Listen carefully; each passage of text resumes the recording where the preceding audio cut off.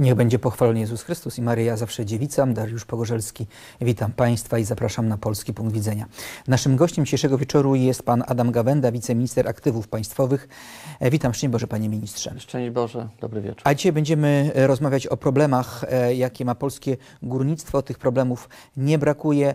Panie Ministrze, jednym właśnie z tychże problemów są rosnące od kilku miesięcy hałdy węgla przy kopalniach. Górnicy al- al- al- alarmują. E, Jaka jest e, tego przyczyna? No tak, to rzeczywiście jest y, bardzo poważny problem, ale zwróćmy uwagę, że geneza, początki tego problemu sięgają jeszcze wcześniej, lat 2012, 13, 14, kiedy bardzo drastycznie zmniejszone inwestycje, roboty przygotowawcze doprowadziły do tego, że a procesy inwestycyjne w górnictwie to są właśnie procesy, które zachodzą w odcinkach dwu, trzy, czteroletnich i one doprowadziły do tego, że na przełomie roku 2017-2018 te zmniejszone roboty przygotowawcze, ten zmniejszony potencjał wydobywczy doprowadził do tego, że brakowało węgla na naszym krajowym rynku. Energetyka była zmuszona, by, żeby zabezpieczyć y, surowiec do swoich elektrowni, była zmuszona do importu tego surowca i to doprowadziło do tego, że prywatni importerzy również zaczęli z dużą nadwyżką kontraktować y, import tego węgla i to doprowadziło do sytuacji, z jaką dzisiaj się zderzamy, a mianowicie z taką, że rzeczywiście na zwałach y, polskich kopań tego węgla jest dużo. No tak, bo teraz płynie, w- płynie węgiel z różnych części świata. Tylko od stycznia do września 2019 roku tego węgla w Polsce się pojawiło ponad 12 milionów ton, 12 milionów 300 tysięcy ton, z czego prawie 8 to jest węgiel rosyjski. I y, Panie ministrze, czy nie da się tego w jakiś sposób zahamować, aby nasze kopalnie, które wydobywają węgiel, mogły go sprzedać, a ten węgiel z, zewnątrz był po prostu zna, znacznie ograniczony, ten import tego węgla? Bardzo mocno zabiegamy i staramy się uruchamiać wszelkie możliwe procedury, by e, ten import węgla przyhamować. Ale proszę zwrócić uwagę, że rok do roku 2018 i 2019 to w ostatnim 2019 roku zauważalny jest dość dynamiczny i duży już spadek tego importu, prawdopodobnie szacowany nawet na poziomie 3 milionów ton węgla, czyli 3 miliony ton, ton węgla głównie energetycznego w ubiegłym roku mniej wjechało do Polski niż w analogicznym roku poprzednim. To y, jest już działanie, które pokazuje, że polskie spółki wydobywcze odbudowują swój potencjał, produkują węgiel o dużo lepszej jakości, ale też proszę zwrócić uwagę, że schodzimy na coraz to większe głębokości, czyli musimy równolegle, oprócz y, coraz to nowocześniejszego sprzętu, również inwestować w bezpieczeństwo naszych y, kopalń. A w związku z tym te procesy inwestycyjne, wzrost inwestycji e, w polskim górnictwie powoduje, że stabilizuje się ten wolumen produkcji polskiego węgla. No i dzisiaj się zderzają właśnie te dwie e, tendencje, czyli ten wcześniejszy duży import i ustabilizowana Ale produkcja. Sprowadzają spółki, podmioty, e, które są w zdecydowanej mierze podmiotami będącymi tak, no ogólnie mówiąc, państwowymi, tak? Których Większość udział tego- skarb, e, skarb państwa ma znaczący udział e, większościowy głównie. Większość jednak tego węgla importują prywatni przedsiębiorcy. Mhm. Niemniej jednak rzeczywiście y, spółka, która powstała na bazie y, przejętej z EDF-u spółki, czyli PGE Paliwa, a wcześniej EDF Paliwa, wcześniej zakontraktowała ta spółka dość duży wolumen y, zakupowanego z importu węgla. W związku z tym to rzeczywiście tutaj jest spółka, która y, w, na naszym rynku odgrywa kluczową pozycję, ale y, głównie importem węgla zajmują się spółki prywatne. Niemniej jednak rzeczywiście, tak jak pan redaktor powiedział, dwie, czyli PGE Paliwa i w dużo mniejszej mierze, bo na e, piątym, szóstym miejscu to jest węglokoks, przy czym węglokoks zaimportował tego węgla tyle, ile energetyka wtedy, kiedy go brakowało, zamówiła. Czyli mówiąc krótko, węglokoks dopasował swoją wielkość importowanego węgla do potrzeb, które wynikały y, z zabezpieczenia tego progu gwarantowanego bezpiecznym y, surowcem energetycznym. Właśnie Panie Ministrze, y, polskie elektrownie potrzebują specy, takiego specyficznego węgla. To musi być węgiel wys wysokoenergetyczny, dobrej jakości. Czy nasze kopalnie są w stanie taki węgiel dostarczyć, aby e, zabezpieczyć to nasze bezpieczeństwo, zabezpieczyć e, nas energetycznie? Y, Tak, y, zdecydowana większość funkcjonujących w Polsce kopalń to kopalnie, które produkują węgiel wysokiej jakości. Oczywiście to jest złoże, to jest natura, więc tu nie można też tak e, sobie tego jakby ułożyć, by tylko węgle o bardzo wysokiej zawartości energetycznej, o bardzo niskim mm, y, zapopieleniu, czy też niskiej zawartości chloru i siarki eksploatować. Są rzeczywiście pokłady, które y, ten poziom mają wyższy, ale to y, te mieszanki, które wychodzą na polski rynek, już są dostosowane do potrzeb naszej energetyki, do odbiorców indywidualnych, do komunalnych w różnych produkowanych sortymentach ale również chcę zwrócić uwagę, że Jastrzębska Spółka Węglowa produkuje węgiel o najwyższej jakości, bo to jest węgiel koksowy. Realizowana jest bardzo duża inwestycja na złożu Bziedębina. Zostały uruchomione w tej chwili tam nowe przodki eksploatacyjne, przodki, które pozwolą w niedługiej przyszłości uruchomić nową kopalnię już z pełnym wydobyciem. I to są te działania, które są podejmowane, by polscy producenci, głównie Jastrzębska Spółka Węglowa, Polska Grupa Górnicza, ale również Tauron Wydobycie i Bogdanka, dopasowały swoją produkcję węgla do potrzeb głównie energetyki zawodowej, do odbiorców e, tych komunalnych i indywidualnych. I to jest też moje zadanie, o którym mówiłem pół roku temu, by ten poziom produkcji był bardzo dobrze dopasowany, powiedzielibyśmy tak dobrze skrojony jak garnitur do potrzeb energetyki naszego rynku. I to się dzisiaj dzieje, ale rzeczywiście mamy dzisiaj sytuację taką, w której musimy się zmierzyć z tą nadwyżką okresową nadwyżką tego węgla na naszym rynku i uruchamiamy wszystkie zdaniem, możliwe procedury. Pana Wszystkie zdaniem możliwe. ta em, nadwyżka kiedy minie, kiedy ta górka będzie zlikwidowana? Codziennie, kilkakrotnie y, mam przedstawiane raporty, jakie kierunki uruchamiamy, by y, tą nadwyżkę węgla, mówiąc krótko, gdzieś umieścić, bądź to na rezerwowych miejscach, bądź No, też takie w przenoszenie e, z, e, z z jednej gromadki na drugą Ale gromadkę. musimy pamiętać o tym, żeby nie zablokować produkcji kopalni, bo Mhm, y, no tak. gdybyśmy do tego do, doprowadzili, mogłoby to zagrażać bezpieczeństwem pożarowym na dole, dlatego że zatrzymanie ruchu ściany wiąże się z możliwością zapożarowania tego rejonu. Ale chcę również zwrócić uwagę, że y, nasze spółki uruchamiają takie kierunki. Dwa duże y, Dwa duże transporty węgla koksowego y, poszły do Indii, do, do Chin. Szukamy rynków y, brazylijskich. Y, Ceny węgla koksowego, dzisiaj można to już też powiedzieć, y, jest taka minimalna, ale już tendencja wzrostowa, w związku z tym ten rynek się stabilizuje, ale zwróćmy też uwagę na to, że z uwagi na bardzo rygorystyczne mm, przepisy pakietu klimatyczno-energetycznego, ten tak zwany Zielony Ład i wszystko to, co z tym się wiąże, doprowadził do tego, że wszystkie kraje europejskie zmniejszają produkcję stali. A to za chwilę, e, panie ministrze, o tym porozmawiamy, o ładzie energetycznym. Natomiast chciałam jeszcze dopytać o to, mm, kiedy e, racjonalnie ten import węgla będzie e, zmniejszony, radykalnie zmniejszony. Cały czas prowadzimy proces, który ma finalnie doprowadzić do tego, żeby ten import y, jakby powrócił do takiego poziomu akceptowalnego, czyli takiego, który ton rynek rocznie? wchłonie. To jest tak gdzieś po- pomiędzy 6 i 8 milionów ton węgla. To jest ten poziom, który przez lata nam towarzyszył. I to do kiedy tego możemy, może państwo polskie to osiągnąć, państwo, kiedy mogą to e, zrealizować? Stosujemy takie rozwiązania, by osiągnąć to jak najszybciej. Natomiast proszę zwrócić uwagę, że to jest rynek, to jest rynek otwarty. I No, prywatnym perspektywę, importerom panie ministrze. nie możemy Rok, tego roku, zabronić. Dwa lata. No to jest kwestia najbliższych y, okresów. No ja sądzę, że to jest kwestia roku, dwóch i, i w tym momencie dojdziemy do, do takiego wolumenu importowanego węgla, który nie będzie, mówiąc też tak wprost, zagrażał produkcji naszego węgla.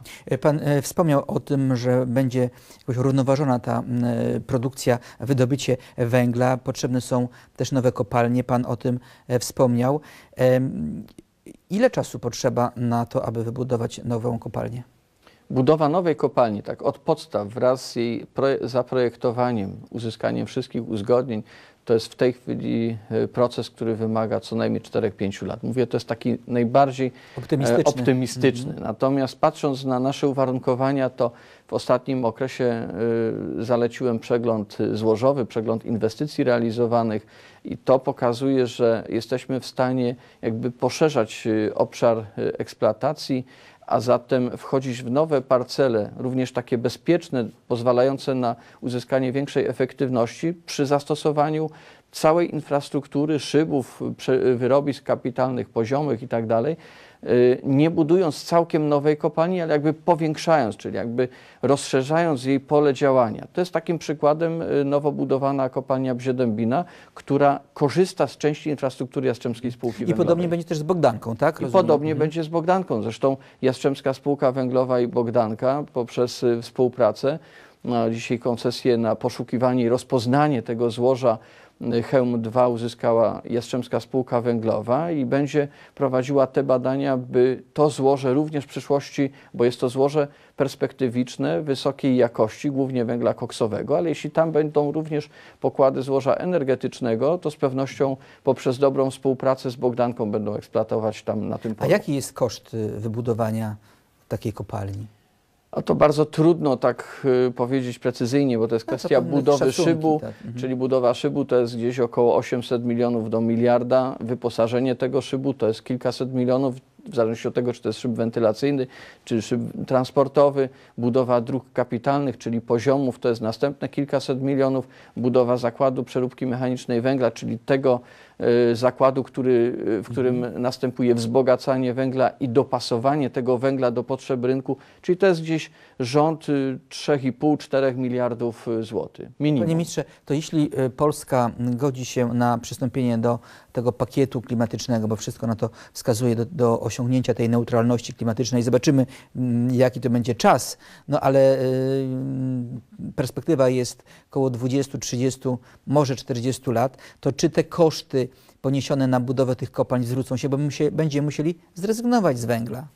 Ale zwróćmy uwagę, że mówiąc o Zielonym Ładzie, Komisja Europejska jakby z założenia wychodzi takiego, że w tej perspektywie nie może znaleźć się węgiel, gaz, Właśnie. paliwa kopalne, a przecież już dzisiaj mamy takie technologie dopracowane i chcemy w to y, w sposób bardziej zdecydowany wejść, by z węgla poprzez zgazowanie produkować paliwa przyszłości, gaz mhm. syntezowy, metanol, y, wodór, y, a poprzez właśnie tą produkcję również iść ale, w kierunku magazynowania Ale jednak ta energii. tendencja jest e, dekarbonizacji, czyli eliminowania węgla. No to bardzo o, prawdopodobne wynika z dwóch takich założeń. Jedne to jest ideologiczne, a drugie to jest biznesowe, że są y, potężniejsi niż branża węglowa y, graczy na tym rynku energetycznym, którzy są zainteresowani wprowadzaniem swoich technologii. Ale zwróćmy uwagę, że w tym samym momencie, w którym mhm. Europa ogranicza emisję dwutlenku węgla, regresyjnie traktuje węgiel i paliwa kopalne, w tym nawet i gaz, y, w tym samym czasie produkcja stali przenosi się do y, państw y, dalekiego i bliskiego wschodu i emisyjność emisyjność globalnie rośnie o ponad 6%.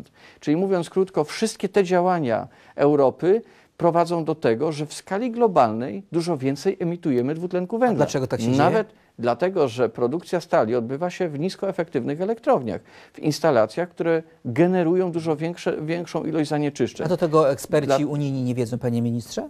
Ja myślę, że właśnie tu jest potrzeba odważnej, takiej otwartej debaty. I trzeba po prostu wyłożyć na stół konkretne argumenty mhm. i to mhm. robimy po to, żeby pokazać, że w tej transformacji surowcowo-energetycznej my chcemy sięgać w przyszłości po ciepło ziemi.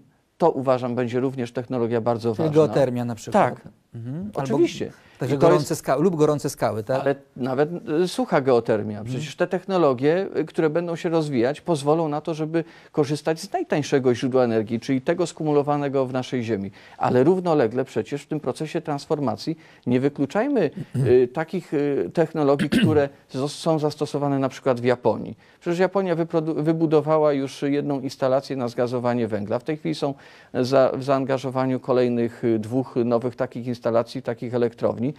My chcemy właśnie w tym procesie transformacji skorzystać z, te, z, takiej możliwości.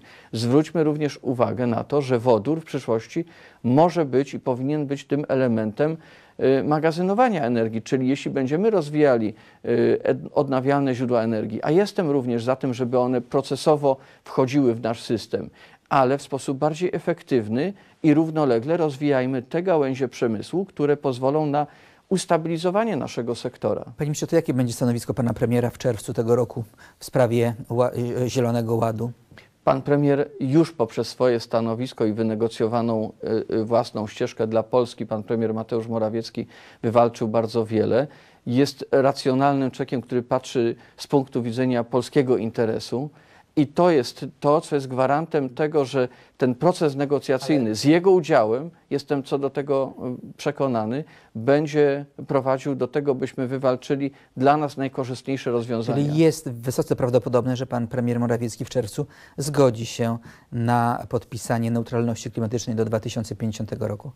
Y, z pewnością przyjmie takie rozwiązania, które są technologicznie możliwe do zastosowania przez Polskę i które pozwolą na to, żeby proces transformacji surowcowo-energetycznej odbywał się w oparciu o sprawiedliwe, solidarne zasady, które powinny obowiązywać we wszystkich państwach Unii Europejskiej. Panie ministrze, Już dzisiaj mhm. niektóre państwa, które podpisały się pod tą Y, umową międzynarodową, żałują tego, bo widzą, że te środki na poziomie 7,5 miliardów euro y, rozłożone na 7 lat to naprawdę jest coś bardzo niepoważnego. No tak, a ile my potrzebujemy na e, sfinansowanie tej transformacji? Liczy się to na poziomie co najmniej biliona złotych, a szacunkowo koszty transformacji samej polskiej grupy górniczej i zastąpienia tego całego bardzo dużego przedsiębiorstwa, czy też kilku y, kopań funkcjonujących w nowe gałęzie gospodarki kosztowałoby 45 miliardów euro i to są szacunki wyliczone przez Uniwersytet Ekonomiczny w Katowicach, przez zespół naukowców. To jest prawie że 200 miliardów złotych. Czyli gdyby tylko polską grupę górniczą zastąpić nowym tego typu przedsięwzięciem gospodarczo-biznesowym trzeba byłoby w region Śląska wpompować w cudzysłowie 200 miliardów Panie złotych. ministrze, to, to, skąd się biorą takie optymistyczne wypowiedzi przedstawicieli rządów, rządu naszego odnośnie Funduszu Sprawiedliwości, Sprawiedliwej Transformacji, na który ma, w którym ma być zgromadzone około miliard, 100 miliardów euro dla całej Unii, z czego Polska ma otrzymać 27, a Pan już wspomniał o tych 7,5 miliarda euro, które mają być taką żywą gotówką, tak? Tylko do rozdysponowania. uwagę, panie redaktorze, że Skąd ten rzeczywiście, rzeczywiście tych 7,5 miliarda ani nawet 5 miliardów euro nam nikt rzeczywiście w walizce nie przywiezie. Na te 100 miliardów euro składa się właśnie te 7,5 miliarda złotych pochodzące jako dodatkowa taka specjalna pula środków. Na to mają być nałożone środki spójności, na to mają być jeszcze nałożone środki z Europejskiego Banku Inwestycyjnego i jeszcze inne komercyjne źródła finansowania. Czyli mówiąc krótko, trzeba będzie wykonać olbrzymią pracę, żeby te środki pozyskać. To jest raz. A jeśli mówimy o tym, że e, Fundusz Sprawiedliwej Transformacji ma obejmować te 100 miliardów euro e, na wszystkie kraje członkowskie Unii Europejskiej, to po pierwsze, ile będzie przypadało dla Polski, a jeśli z programów spójności, no to znaczy, że w tym samym momencie o wiele mniej zrealizujemy inwestycji na przykład drogowych, infrastrukturalnych i innych. Czyli tak? panie ministrze, no, generalnie wynika z tego, że to my jako Polska sami będziemy musieli sfinansować te koszty transformacji e, naszej gospodarki, aby stała się ona e, gospodarką neutralną pod względem klimatycznym. Y, I to jest właśnie to, co to są argumenty, które chcemy wyłożyć na stół, o których chcemy mówić, bo one pokazują rzeczywiście, że jeśli ci sami eurokraci, którzy mówią, że 7,5 miliarda euro to, są, to jest duża pula środków, która pozwoli na y, to, żeby na każde euro nałożone dwa kolejne z puli środków wewnętrznych zrealizować ambitne cele, a w drugim zdaniu mówi, że na transformację surowcowo-energetyczną, na, na tą, ten, ten tak zwany zielony ład i osiągnięcie neutralności klimatycznej, rok do roku potrzebne by było 250 miliardów euro, czyli mówimy tu o ponad 2 bilionach euro. A to są środki no naprawdę bardzo wysokie. No jest to perspektywa mało optymistyczna, panie ministrze, jeśli chodzi o e, przyszłość naszej gospodarki w kontekście e, walki o, o klimat, jak to niektórzy mówią. E, panie ministrze, bardzo panu dziękuję za Ale jeszcze tylko jedno zdanie dodam, bo my chcemy iść tą drogą nowoczesności, ale chcemy, żeby ta droga była realna i możliwa No technologicznie. tak, no rozsądek przede I wszystkim. rozsądek, i rozsądek. Panie ministrze, bardzo panu dziękuję za przyjęcie zaproszenia, za rozmowę. E, Naszym gościem w tym wydaniu Polskiego Punktu Widzenia był e, wiceminister aktywów państwowych Adam Gawenda. Dziękuję bardzo. Dziękuję bardzo. E, Państwu dziękuję za uwagę. Na Polski Punkt Widzenia zapraszam jutro o godzinie 21.40. Do zobaczenia z Panem Bogiem.